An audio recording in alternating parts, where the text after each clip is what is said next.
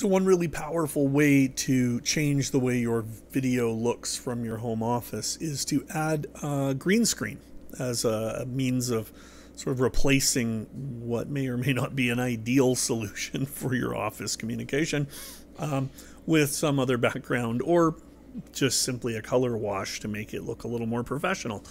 The first thing I'm going to need to do, however, in this space is set up a green screen.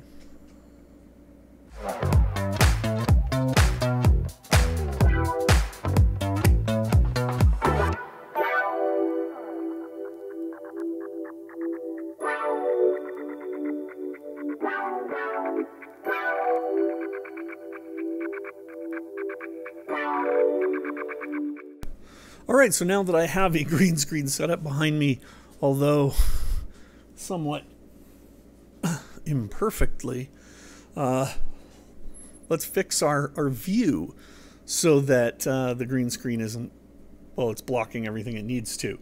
Uh, so to do that, I'm just going to go in and adjust the property. Oh, I can't do that because that's not the cam. I need the camera. There we go. We just go update this camera by adjusting the properties uh, by configuring video. Here, I'll bring that onto screen. Just zoom in because my camera does support this. So we'll do that. So there's my zoom in. We'll hit apply. Okay. Now, so in order to use the green screen, I need to set up a chroma key on a particular scene. If I set the chroma key on the camera itself, that means that I have to edit the camera uh, between different scenes if I choose to turn it on or turn it off for different purposes.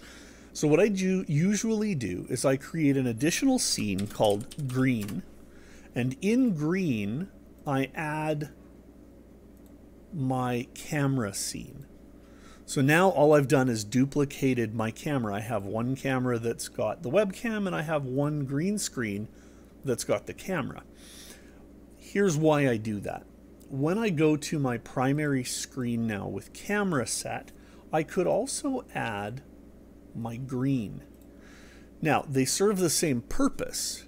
Uh, they look identical because they are identical functionally.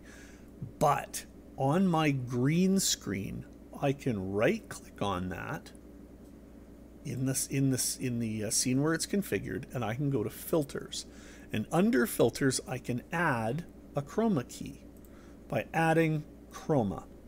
When I add a chroma key, I can then choose do I want it to be a blue screen, a green screen, magenta, or any other color. So I could, if I had an office with a yellow wall behind me, I could replace that yellow wall with something else as long as I'm not wearing yellow. Uh, you'll, you'll see if I select magenta, parts of my shirt go see-through. That's not going to work. Oh, apparently my lips are magenta also. Uh, so what I'm going to do is I'll go with the green screen. Now you'll see there's a little bit of noise, even though my background is not perfect. It's it's not terrible, but there's a little bit of noise that shows up around my shoulder.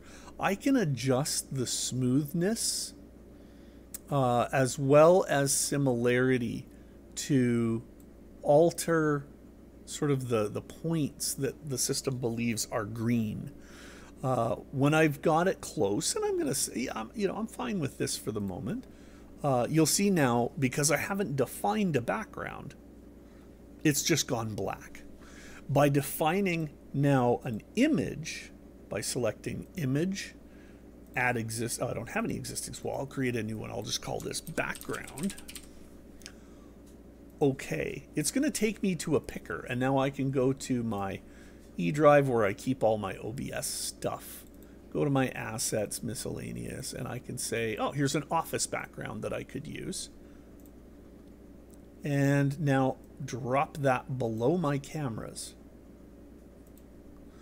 And so now I, my, my camera is set up inside an office environment. Now, movement, obviously, the better lit the background is, the better the green screen will work.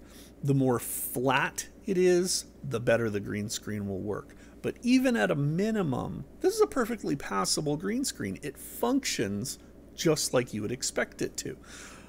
the reason we suggest using this technique for a green screen rather than the built-in Zoom green screen technique um, or the techniques in some of the other chat apps, the more your background moves around, you'll see right over my shoulder here, and this could be caused uh, by lighting more than anything else, but that little bit of flicker, Zoom picks up on that, and what you'll see is if you choose a green screen in Zoom, if you move your head, giant blocks will form where the green screen is having trouble keeping up.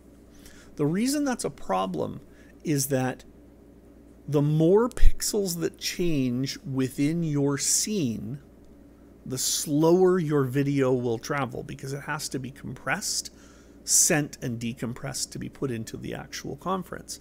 Therefore, the better you filter upfront what you're going to send, the better the resulting video will be on the other, send, uh, other end of the connection for your viewers. So, this is how I set up my green screens in OBS. Um, it absolutely makes life easy uh, to be able to change um, either backgrounds on the fly or uh, as just as desired. Hey, I can go on the moon. There we go. Oh, that's a huge picture. Here, I'm going to have to scale that down to make it work. But I definitely want to be on the moon. There we go. I'll just take that and drop it behind as a background keep going down a little bit. And uh, now if I ever have another conference where, you know, I have space junkies with me, well, I could be on the moon. Just like that. OBS and green screen is a great combination. There's a reason the software works so well for this purpose, and it's because OBS is designed for streamers. It's designed for people who are actively uh, streaming content online. Again, biggest things to think about. Not one light source up there, but two. That'll help get rid of this uh, shadow that's showing up on the screen, or at least another light lighting the green screen. Two, get the green screen as close to you as possible without throwing really hard shadows. You can see the shadow of my hand back there, uh, right over there. You see it moving around. That makes your video a little slower. And again, keeping things clean and, and tight will help your video look better uh, while keeping your bandwidth use in check. So there you go. That's how you set up a green screen in OBS. Cheers. Greg here. I'm on the moon. Just out the window there uh, to the moon base. Uh, there's some guys out there working. Actually, I think I think, I think Bob's out there. Hey, hey, Bob, are you how's, you good? All right, cool. All right. Um, yeah, I'm on the moon. Really? I am.